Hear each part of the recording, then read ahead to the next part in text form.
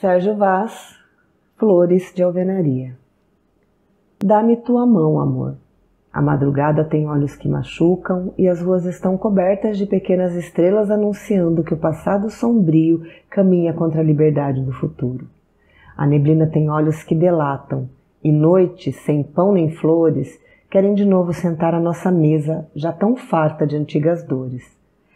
Corpos negros sangram nas calçadas, e enquanto o asfalto trama o fim da paz, o sangue dos famintos escorre surdo no rap triste nas filas dos hospitais. No calendário, os dias marcham com velhas botinas. É inverno em plena primavera, e o outono não tem fim, deixando marcas profundas em nossos corações que sonharam ser orquídea com a mesma força do capim. Não te larga de mim, amor, entre cegos e tiranos modernos, entre rosas e espinhos, de mãos dadas tenho força para caminhar. O vento sopra os fantasmas para as praças, o ódio com gás é servido nas mesas dos bares, os lobos clamam a carne da desgraça e sorrir já não é permitido em nossos lares.